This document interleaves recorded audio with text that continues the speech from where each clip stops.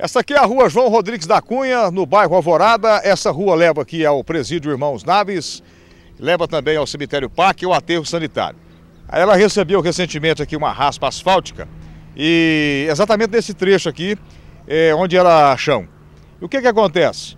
Os motoristas de caminhão, da coleta de lixo, outros caminhões pesados, estão evitando de passar nesta rua por conta dos buracos. Estão exatamente usando aqui o trajeto da rua Leila Maria dos Santos.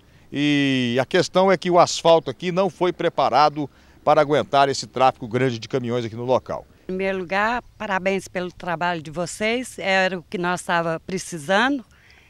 Magrão, porque a gente já sabe a dificuldade que está o asfalto, né? Agora, vai, é, vai acabar com o nosso, que não comporta carga pesada, por isso eu acho que tem que ser o mais rápido arrumar isso aí, não fazer essa lambreca que eles fizeram aí, né?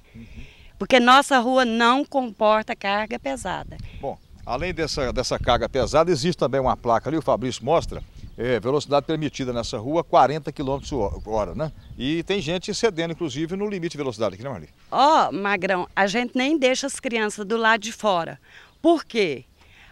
Cachorro, já não sei quantos que eles passam arrastando, bate e vai embora, você entendeu? Então, para nós aqui está um perigo. Nós queremos também uma placa aqui proibindo essas cargas pesadas.